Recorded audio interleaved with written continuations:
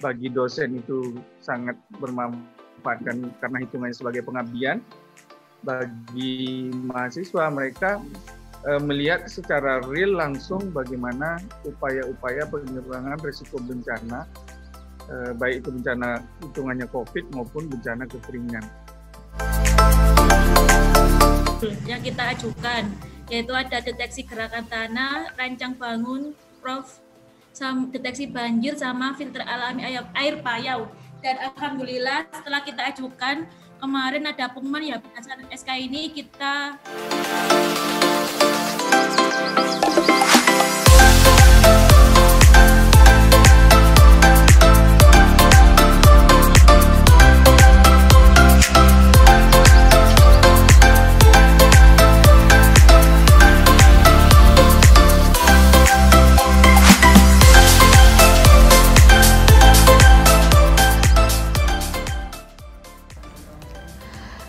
Banjir menjadi permasalahan rutin yang sering dihadapi oleh masyarakat yang tinggal di daerah aliran sungai.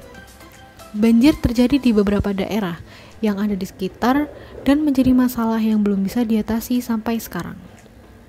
Dengan terciptanya sistem deteksi banjir yang diimplementasikan di daerah rawan banjir, daerah ini mampu menjadi peringatan dini kepada masyarakat sekitar sehingga warga dapat mencegah terjadinya kerugian atau kecelakaan akibat banjir yang akan melanda.